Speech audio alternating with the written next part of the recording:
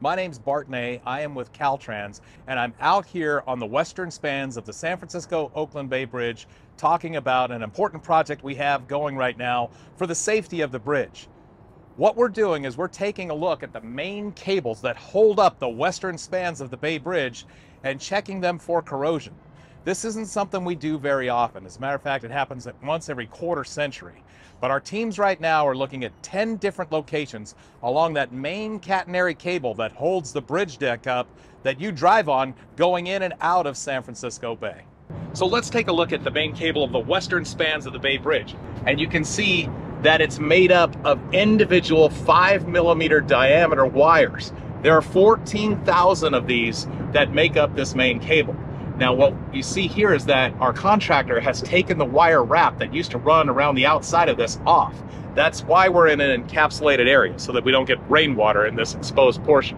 And now our engineers, just like you, can take a look at what's going on underneath there. The orangish red that you see here, that's lead paint that actually is used to protect it from corrosion. What we'll do for cutting a sample is we'll take a section of the wire, maybe about that big, completely out of the bridge. Then we'll use tools to compress this back and put this metal ferrule, it's got a steel wall on the inside of it, in place and then crimp it down. At this location, that wire is just as strong here as it would be at any other location on the wire. So, so there's, there's no loss of strength at all. And we're only looking at 10 different locations for a few samples each so that we can get a good feel for what's going on with the steel. When the samples are cut out and sent away, they're, they're going to a couple of different labs. One of the labs is in, in Los Angeles, uh, but we're also working with Columbia University. The other thing that this project is doing is looking at the suspender ropes that come down off of the, this cable and hold the deck up. So there are a couple of locations where we're going to be replacing those ropes and uh, with, with new ones. That's going to be happening over the next year. This project's going to go on all the way until July of next year. It's going to do most of this main cable work also replace a few different suspender ropes that are that are ready to retire. And then on top of the towers it's actually like a two-story building up there.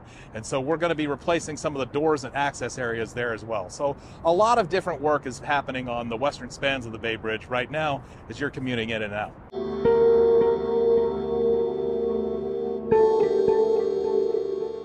The BATA staff has proposed a toll increase that would be um, used exclusively to finance the maintenance, rehabilitation, and operation not only of the Bay Bridge, but all of the other state-owned toll bridges in the Bay Area.